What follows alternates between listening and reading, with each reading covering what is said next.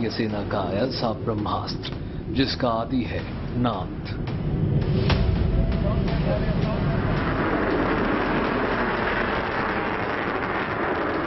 रण क्षेत्र चाहे पाताल में हो, ज़मीन पर हो, या फिर आसमान में। भारत की ब्रह्मोस मिसाइल दुश्मन को नेस्तनाबूद करके ही दम लेती है।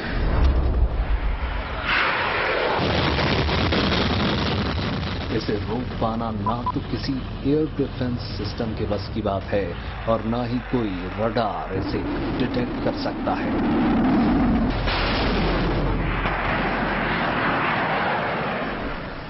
ब्रह्मोस एरोस्पेस के सीईओ यानी अतुल दिनकर राणे ने कहा है कि देखिए, ब्रह्मोस का सामना करना आसान नहीं है। ब्रह्मोस का सामना चीन का S four hundred defence system भी नहीं कर सकता।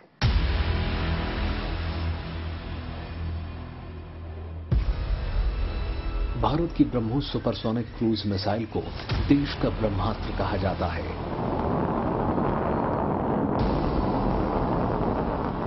ये किसी भी सशस्त्र बल में शामिल इकलौती सुपरसोनिक क्रूज मिसाइल है। एक मैगजीन ने जब अतुल दिनकर राणे से पूछा कि चीन ने रूसी एस 400 एयर डिफेंस सिस्टम तैनात किया है, ये ब्रह्मोस के खिलाफ कितना प्रभावी होगा तो दिनकर राणे ने कहा, ब्रह्मोस के लॉन्च होने के बाद टारगेट लोकेशन पर इसके प्रभाव के बीच बहुत कम समय होता है। इसलिए किसी भी ज़मीन से हवा में मार करने वाले मिसाइल सिस्टम के लिए इसे रोक पाना मुश्किल है। सुपरसोनिक क्रूज मिसाइल को रोकना नामुमकिन है। अगर कोई डिफेंस सिस्टम ऐसा करने में कामयाब हो भी गया तो वो सिर्फ़ एक, दो या तीन को रोक पाएगा। एक साथ पाँच, छह सैलवों को रोकना नामुमकिन है। ब्रह्मोस मिसाइल किसी न किसी तरह अपने टारगेट तक पहुँच ही जाएगी।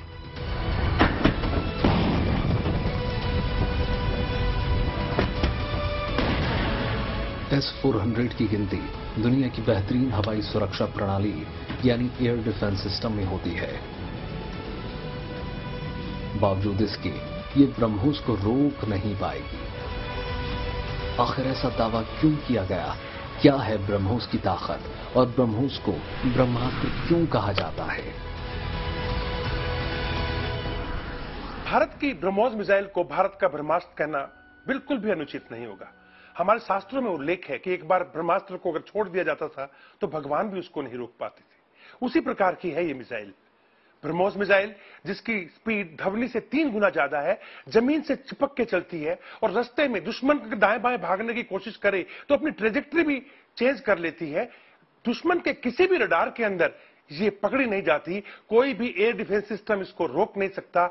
एक्यूरेसी दो मीटर की है, और जब ये अपनी सुपरसोनिक स्पीड के साथ बॉम्ब को लेकर दुश्मन पे टूटती है तो एक तरीके का प्रलय आ जाता है। सही मायने में ब्रह्मास्त्र है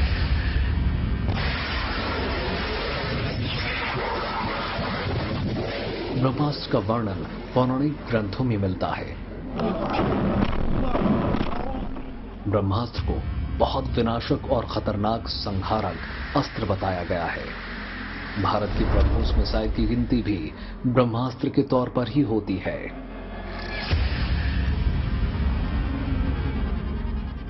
जिस तरह भगवान ब्रह्मा के ब्रह्मास्त्र को हासिल करने के लिए तमाम तप करने पड़े, उसी प्रकार हिंदुस्तान को ब्रह्मोस बनाने के लिए बहुत तप करना पड़ा, बहुत रिसर्च करना पड़ा।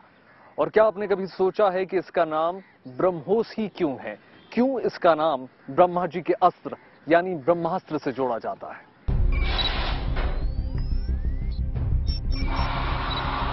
जब ब्रह्मोस मिसाइल बनाने की शुरुआत की गई थी, तब दुनिया में ऐसा कोई डिफेंस सिस्टम नहीं था जो इसका सामना कर सके। हालाँकि बाद में कुछ ऐसे एंटी मिसाइल सिस्टम तैयार की गई जो काफ़ी एडवांस्ड है। लेकिन ब्रह्मोस के ऑपरेशन पर ये कितना असर डाल सकती है इसे लेकर ज़्यादा साक्ष्य नहीं मिलते।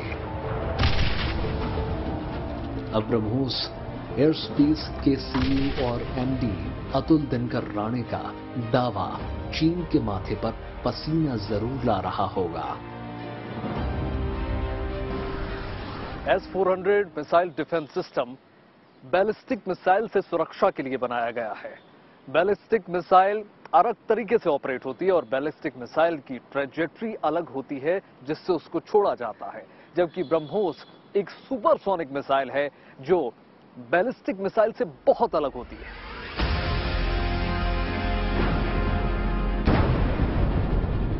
क्रूज मिसाइल और बैलिस्टिक मिसाइल में क्या अंतर होता है? इसे समझने की ज़रूरत है। Ballistic missile. हवा में एक अर्ध चंद्राकार रास्ते पर चलती है। एक बार छोड़े जाने के बाद इन पर कोई कंट्रोल नहीं रह जाता। वहीं दूसरी ओर क्रूज मिसाइलें गाइडेड होती हैं। एकदम सटीक निशाने वाली। ये अपना ज़्यादातर रास्ता एक समान रफ्तार से तय करती हैं। इनकी अचूक निशाने लगाने की क्षमता इन्हें ज़्यादा खतरनाक बनाती है।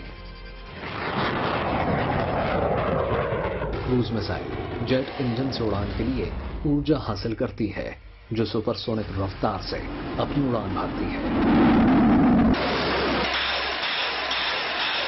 वहीं बैलिस्टिक मिसाइल रॉकेट इंजन से पावर हासिल करती है, लेकिन सिर्फ़ शुरुआती उड़ान के समय ही। बैलिस्टिक मिसाइल को लॉन्च करने के कुछ ही समय के लिए प्रोपेल किया जाता है, जबकि क्रूज मिसाइल सेल्फ प्रोपेल्ड होती हैं।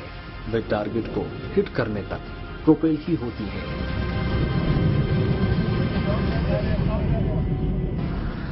क्रूज मिसाइल्स की रेंज कम होती है। जनरली ये सुपरसोनिक या हाइपरसोनिक होती स्पीड से चलती हैं। और इनका जो डिस्टेंस है, वो कम होता है। लेकिन ये ज़मीन से चिपक के चलती हैं एंटी शिप से लेकर के ग्राउंड के टारगेट्स तक को भी इससे हिट किया जाता है। और रडार की पकड़ में क्रूज मिसाइल्स नहीं आती हैं। वहीं दूसरी ओर, जहाँ पे अपना बैलिस्टिक मिजाइल्स हैं, वो पहले एटमॉस्फेयर से बाहर जाती हैं, काफ़ी हाइट पे जाती हैं, और फिर लो ऑर्बिट से एटमॉस्फेयर में वापस एंटर करके अपने टारगेट को एक पैराबोलिक रूट के ऊपर या रास्ते को फॉलो करते हुए टारगेट को हिट करती हैं। क्रूज मिसाइल्स की रेंज कम होती है, लेकिन बैलिस्टिक मिसाइल्स की रेंज इंटरकॉन्टिनेंटल तक है। यही मेन कारण है कि जिसके कारण रडार बैलिस्टिक मिसाइल्स को तो पकड़ सकता है, क्योंकि वो काफ़ी देर हवा में रहती है, और जब तक वो ऊपर जाती है एटमोस्फेयर क्रॉस करने के लिए रडार और एयर डिफेंस सिस्टम्स उसको पकड़ लेती हैं। लेकिन क्रूज मिसाइल जो कि ज़मीन से चिपक के चलती है, उसको पकड़ना रडार्स के लिए नामुमकिन है। ब्रह्मोस को एस 400 मिसाइल डिफेंस सिस्टम से ताकतवर बताने के पीछे एक नहीं, बल्कि कई वजहें हैं। ब्रह्मोस मिसाइल को घातक बनाती है। इसकी स्पीड एक्यूरेसी कंट्रोल और स्टीप डाइविंग अगर किसी खास टारगेट को हिट करना है तो ये काम ब्रह्मोस से आसानी से पूरा किया जा सकता है। ये मिसाइल आवाज़ से करीब तीन गुना तेज़ी से लक्ष्य की ओर बढ़ती है। इतनी स्पीड पर किसी भी रडार के लिए बहुत मुश्किल है इसे पकड़ना। अगर रडार पर मिसाइल पकड़नी भी आ गई तो दुश्मन को संभालने का ज़्यादा वक्त नहीं मिल पाता।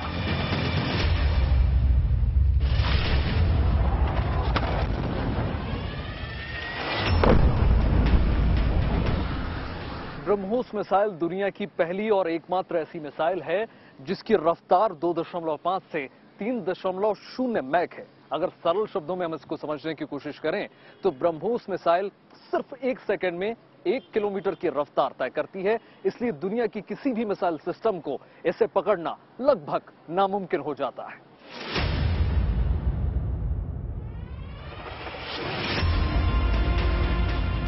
ब्रह्मोस मिसाइल की सबसे बड़ी ताकत है कि न्यूक्लियर वॉर हेड तकनीक से ये लैस है, यानी ये परमाणु हमला करने में सक्षम है। ब्रह्मोस मिसाइल की एक और खूबी है कि इसे जल थल और नभ से भी दागा जा सकता है। इसे पनडुब्बी से दागने के लिए दो सफल परीक्षण किए जा चुके हैं।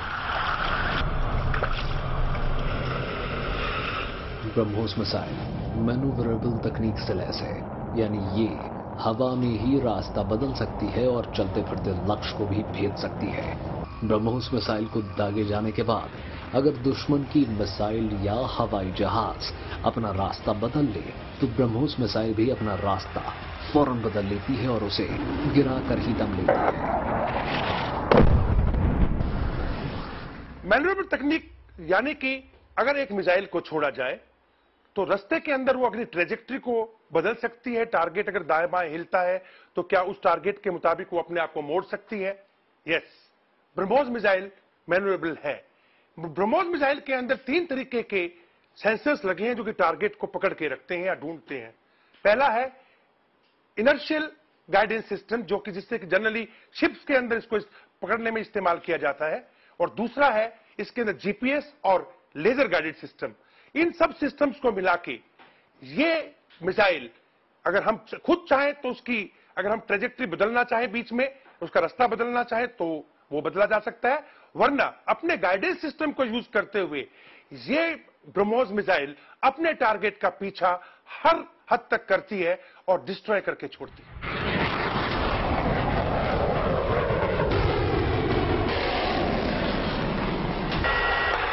ब्रह्मोस मिसाइल की सबसे बड़ी खासियत है, इसे वर्टिकल या सीधे कैसे भी दागा जा सकता है।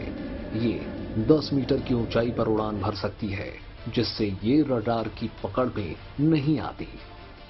यही नहीं, ब्रह्मोस मिसाइल स्टीप डाइविंग तकनीक का इस्तेमाल करती है, इसे आप ऐसे समझ सकते हैं। मान लीजिए, ब्रह्मोस के रास्ते में कोई पहाड़ आ गया और दुश्मन उस पहाड़ के दूसरी ओर मौजूद है। ऐसे में जिस तरह एक विमान रास्ता बदलता है, उसी तरह ब्रह्मोस मिसाइल भी घूमकर दूसरी ओर पहुँच जाएगी और दुश्मन को तबाह कर देगी। स्टीप डाइविंग का जो तकनीक है बेसिकली वो पहाड़ों के पीछे छुपे हुए दुश्मन या कोई इंपॉर्टेंट टारगेट्स को हिट करने के लिए ब्रह्मोस मिसाइल के अंदर जो है, वो इस तकनीक को यूज़ किया गया है। हालाँकि ब्रह्मोस मिसाइल बहुत तेज गति से चलती है 3.2 मैक की स्पीड से, और ऐसे में अचानक से उसको ऊपर उठाना और फिर नीचे लाना बहुत मुश्किल होता है। लेकिन जिस स्पीड या जिस धमनी की गति के साथ में ये आगे चल रही है उसी के अंदर जो इसका एग्जॉस्ट निकलता है, उसकी टेक्निक को मिला के इसको अचानक से पहाड़ के ऊपर ले जाया जाता है और फिर ये अपना टारगेट पहाड़ के नीचे अपने गाइडेंस सिस्टम से ढूंढकर दो मीटर की एक्यूरेसी तक टारगेट को ध्वस्त कर देती है। निन्यानवे दशमलव नौ नौ परसेंट के सटीक निशाने वाली इस मिसाइल का उपयोग भारत की तीनों सेनाएँ करती हैं। 2001 में ब्रह्मोस के सफल टेस्टिंग के बाद इसे इंडियन आर्मी 2005 में नौसेना और साल 2012 में सुखोई 30 एम के आई से टेस्ट कर इसे भारतीय वायुसेना का हिस्सा बना दिया गया युद्धपोत से लॉन्च किए जाने वाली ब्रह्मोस मिसाइल 200 किलोग्राम वॉरहेड ले जाने में सक्षम है, जो मैक 3.5 तक अधिकतम रफ्तार हासिल कर सकती है, यानी चार हस्ती है। दावा किया जाता है कि रूस के जिरकॉन मिसाइल के पास हाइपोसोनिक ताकत है। भारत भी हाइपरसोनिक ताकत हासिल करने की राह में आगे बढ़ चुका है। भारत में ब्रह्मोस मिसाइल को अब हाइपरसोनिक ताकत देने की तैयारी हो रही है। भारत ब्रह्मोस टू तैयार कर रहा है, जिसकी रफ्तार के आगे मुँह ताकता रह जाएगा दुश्मन का रडार। इसकी स्पीड के आगे सरेंडर कर देंगे दुश्मन के डिफेंस सिस्टम भारत और रूस के ज्वाइंट डिफेंस वेंचर ने नई ब्रह्मोस मिसाइल बनाने का काम शुरू कर दिया है। ज़ाहिर सी बात है, भारत अपनी सबसे पावरफुल क्रूज मिसाइल ब्रह्मोस को और ज़्यादा गति देना चाहता है। भारत इसकी रफ्तार 9000 किलोमीटर प्रति घंटा करना चाहता है।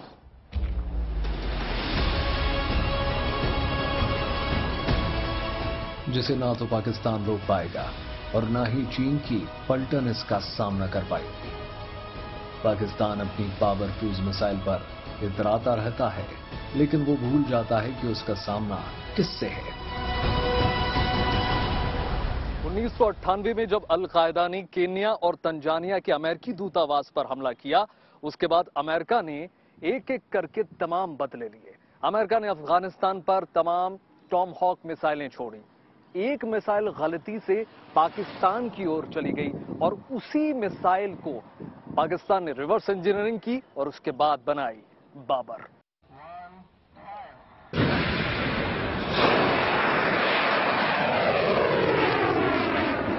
11 अगस्त 2005 को पाकिस्तान ने अपनी पहली क्रूज मिसाइल बाबर का सफल परीक्षण किया। उस दौरान पाकिस्तान समेत चुनिंदा देशों के पास ही क्रूज मिसाइल की टेक्नोलॉजी थी। बताया जाता है कि पाकिस्तान ने अपनी पहली क्रूज मिसाइल बाबर को रिवर्स इंजीनियरिंग के ज़रिए बनाया था। इसका खुलासा वहाँ के पूर्व प्रधानमंत्री नवाज़ शरीफ खुद कर चुके हैं।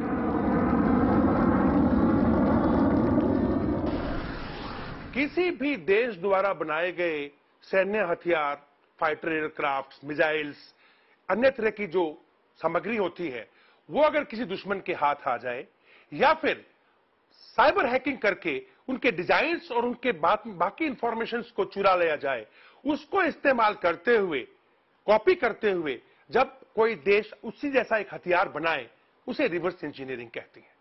चीन इस मामले में माहिर है। चीन के ज़्यादातर हथियार अमेरिका के डिज़ाइन से चुराए हुए डिज़ाइन से बने हुए हैं। वहीं दूसरी ओर, बाबर क्रूज मिसाइल जो कि पाकिस्तान ने बनाई है, वो भी अमेरिका द्वारा जब टॉम हॉक मिसाइल्स अफ़गानिस्तान पे फायर की गई थी और उनमें से एक मिसाइल जो कि गलती से बलूचिस्तान में गिर गई थी और सही सलामत हालत में थी, उसको उठा के पाकिस्तान ने उसकी कॉपी करके डिज़ाइन को सब कुछ और एक नई डिज़ाइन बना दी। इस तरह की जो डिज़ाइन से, इस तरह के चुराए हुए डिज़ाइन से कॉपी करके अगर किसी भी चीज़ को बनाया जाता है तो वो रिवर्स इंजीनियरिंग कहलाता है। पाकिस्तान के पास अभी तक सुपरसोनिक या हाइपरसोनिक मिसाइल टेक्नोलॉजी नहीं है। पाकिस्तान की बाबर सबसोनिक क्रूज मिसाइल है, जबकि ब्रह्मोस सुपरसोनिक क्रूज मिसाइल है। यानी स्पीड के मामले में बाबर ब्रह्मोस से काफ़ी पीछे है। भारत अब पाकिस्तान से एक कदम और आगे निकल जाएगा। भारत ब्रह्मोस टू पर काम कर रहा है, जो कि हाइपरसोनिक स्पीड से दुश्मन पर हमला करने में सक्षम है।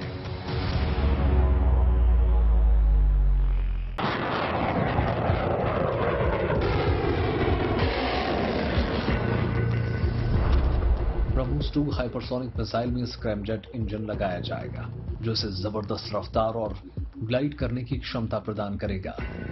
ब्रह्मोस टू मिसाइल की रेंज 600 किलोमीटर होगी, जिसे बढ़ाकर 1000 किलोमीटर किया जा सकता है। यानी नए ब्रह्मोस के टारगेट पर समूचा पाकिस्तान होगा। बालाकोट जैसे हवाई हमले के बाद देश की सुरक्षा को और ज़्यादा मज़बूत करने की दिशा में सरकार ने ब्रह्मोस मिसाइल की ताकत को और बढ़ाने का फैसला किया।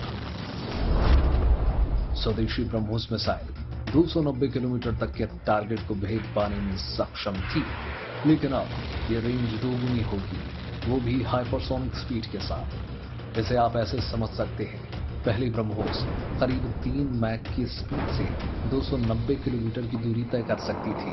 अब ब्रह्मोस की स्पीड सात दशमलव पाँच मैक करने की तैयारी चल रही है, यानी आवाज़ की रफ्तार से सात गुना तेज।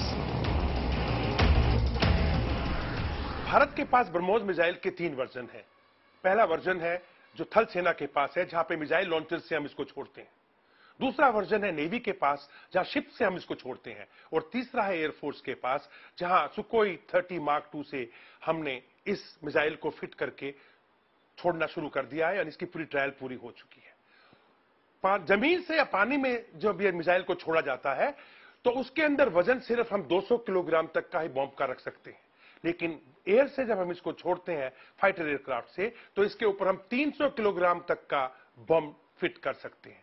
दूसरा हवाई से, हवाई जहाज़ के द्वारा या फाइटर एयरक्राफ्ट के द्वारा जब हम इसे छोड़ रहे हैं तो ये एयरक्राफ्ट दुश्मन के बहुत नज़दीक तक जाता है और तब हमारे ब्रह्मोस मिसाइल की रेंज 500 किलोमीटर जो है, वो कहीं ज़्यादा बढ़ जाती है और हम दुश्मन को बहुत अंदर तक स्ट्राइक कर सकते हैं। स्वदेशी ब्रह्मोस मिसाइल के नाम से पहले ही चीन और पाकिस्तान सदमे में रहते हैं। अब नए ब्रह्मोस के सुपरसोनिक से दुश्मनों का क्या हाल होगा आप खुद समझ सकते हैं। जल, थल और आकाश से प्रहार करने वाले ब्रह्मोस मिसाइल से मुलाकात करना किसी भी देश के बूते की बात नहीं है। आप ऐसे समझ सकते हैं। दरअसल मैक की रफ्तार का मतलब आवाज़ की गति से है। एक मैक की रफ्तार, यानी 343.59 मीटर प्रति सेकेंड। सात मैक का मतलब आवाज़ की रफ्तार से पाँच गुना ज़्यादा तेज। भारत की हाइपरसोनिक ब्रह्मोस मिसाइल की रफ्तार आवाज़ की गति से पाँच गुना ज़्यादा तेज होगी।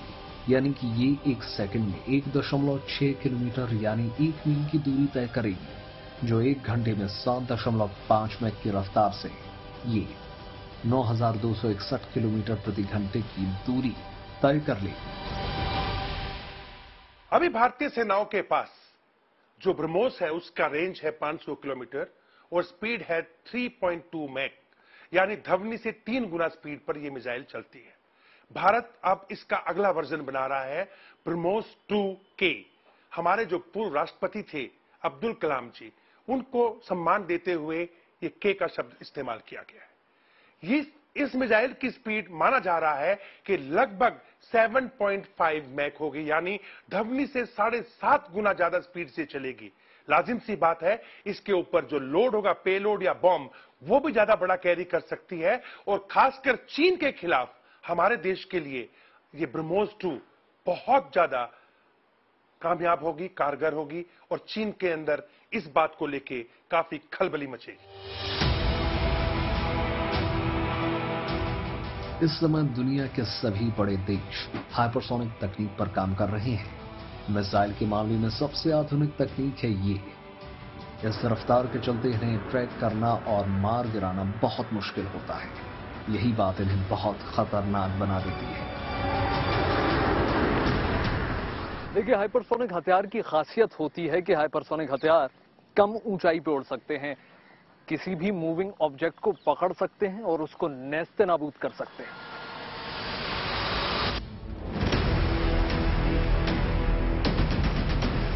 BrahMos two hypersonic missile anti ship land attack सतह से सतह पर मार करने वाली हाइपरसोनिक क्रूज मिसाइल होगी इसे युद्धपोत पनडुब्बी फाइटर जेट या ज़मीन पर मौजूद मोबाइल लॉन्चर से दागा जा सकेगा।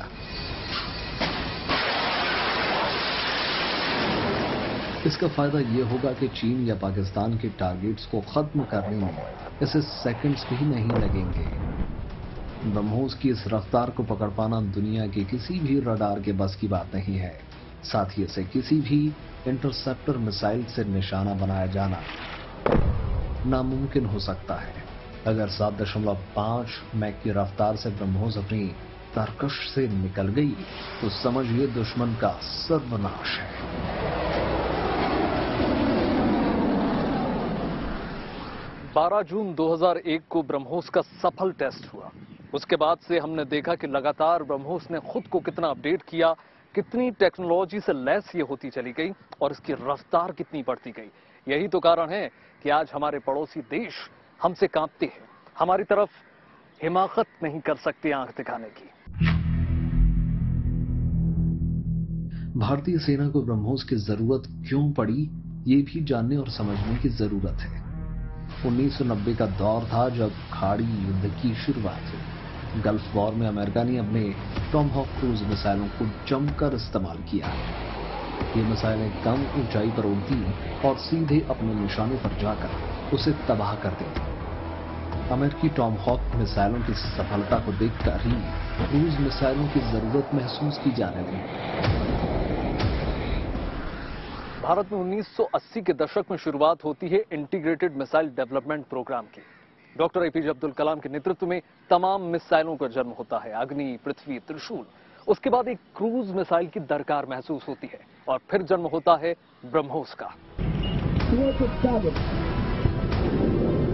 क्रूज मिसाइलों की जैसी ज़रूरत भारत को थी, वैसी ही ज़रूरत रूस को भी थी। दोनों देशों के पुराने रिश्ते हैं। ऐसे में ये ज़रूरत दोनों को एक नए प्रोजेक्ट के लिए साथ लेकर आए साल उन्नीस सौ अट्ठानवे में दोनों देशों के बीच में करार हुआ। हिंदुस्तान की तरफ़ से थे डीआरडीओ के तत्कालीन प्रमुख डॉक्टर एपीजे अब्दुल कलाम, जबकि रूस की तरफ़ से थे उनकी उप रक्षा मंत्री। उसके बाद जन्म हुआ ब्रह्मोस एरोस्पेस का। ये डीआरडीओ और एनपीओएम का ज्वाइंट वेंचर है। इसमें भारतीय हिस्सेदारी 50.5 फ़ीसदी है और रूसी हिस्सेदारी उनचास दशमलव पाँच प्रतिशत। दोनों सरकारों की ओर से फंड मिलने के बाद उन्नीस सौ निन्यानवे में मिसाइल पर काम शुरू हुआ और साल 2001 में किया गया पहला टेस्ट। चांदीपुर से हुआ था। आज ब्रह्मोस भारतीय सेना के तीनों अंकों में शामिल हो चुकी है। ज़ाहिर तौर पर सवाल तो यही उठता है कि अगर रूस ने भारत के साथ मिलकर ब्रह्मोस को बनाया है तो ब्रह्मोस को रूस अपनी मिलिट्री में शामिल क्यों नहीं करता? रूसी पी 800 ऑनिक्स मिसाइल ब्रह्मोस का एक पुराना वर्जन है। ब्रह्मोस इससे कहीं बेहतर है। पी 800 को रूस में बनाया जाता था और ये अब भी वहीं बनती है। पी 800 एक जहाज़ रोधी मिसाइल के रूप में डिज़ाइन किया गया है और इसका इस्तेमाल सीरिया और यूक्रेन में जमीनी टारगेट के लिए किया गया। दरअसल, किसी भी मिसाइल की असली ताकत उसका चूक प्रहार होता है। इसके लिए मिसाइल में सीकर और बूस्टर का इस्तेमाल किया जाता है। पहले ये रूस से मंगवाया जाता था, लेकिन अब आत्मनिर्भर भारत योजना के तहत देश में ही बनाने की तैयारी शुरू हो चुकी है।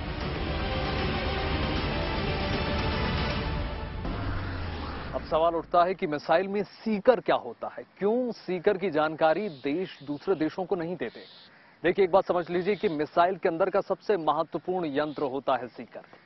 सीकर ही वो चीज़ है जिससे ये तय होता है कि मिसाइल सटीकता से अपने लक्ष्य को भेद पाएगी या नहीं। और यही कारण है कि ये टॉप सीक्रेट कोई भी देश किसी देश को देना नहीं चाहता। मार्च 2023 में ही इंडियन नेवी ने पहली बार देश में बने सीकर और बूस्टर से लैस ब्रह्मोस मिसाइल का सफल परीक्षण किया। मिसाइल के अगले हिस्से पर सीकर लगा होता है, जो उसे टारगेट तक पहुँचाने के लिए गाइड करता है। गाइडेंस के लिए जो कमांड मिसाइल को कंट्रोल सेंटर से दिए जाते हैं, उसी आधार पर सीकर काम करता है। इसीलिए कहते हैं प्रिसिशन गाइडेड मिसाइलों का जमाना है। बस दूर से बैठकर टारगेट को सेट कर दो और उसके बाद मिसाइल खुद ब खुद टारगेट को ढूंढेगी और उसको नेस्ते नाबूद कर देगी, चाहे टारगेट स्टैटिक हो या फिर टारगेट मूविंग हो। और इसमें सबसे ज़्यादा मदद करता है सीकर भारतीय नौसेना की युद्धपोत ब्रह्मोस मिसाइल से लैस हैं, जो हिंद महासागर से लेकर अरब सागर तक दुश्मनों को तबाह करने की ताकत रखते हैं। अभी भारत के पास समुद्र से दागने के लिए ब्रह्मोस मिसाइल के चार वेरिएंट्स हैं। पहला, युद्धपोत से दागे जाने वाले एंटी शिप वेरिएंट दूसरा, युद्धपोत से दागा जाने वाला लैंड अटैक वेरिएंट ये दोनों ही वेरिएंट भारतीय नौसेना में पहले से ऑपरेशनल है।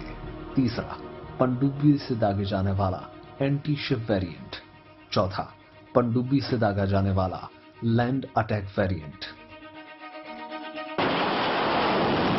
वहीं भारतीय वायुसेना ने अपने 40 सुखोई विमानों पर ब्रह्मोस क्रूज मिसाइल तैनात की है।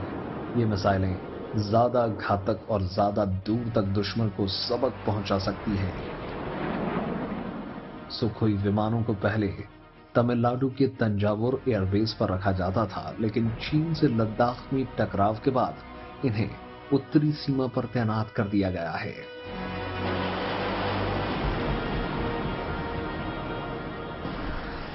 ब्रह्मोस सुपरसोनिक क्रूज मिसाइल का 8 दिसंबर 2021 को सफल परीक्षण हुआ। उसके बाद से ही लगातार इस क्रम में हम आगे बढ़ रहे हैं। कोशिश ज़ाहिर तौर पर यही है कि तमाम लड़ाकू विमानों के साथ इसको असेंबल कर दिया जाए, जिससे विपरीत परिस्थितियों में इससे निपटा जा सके।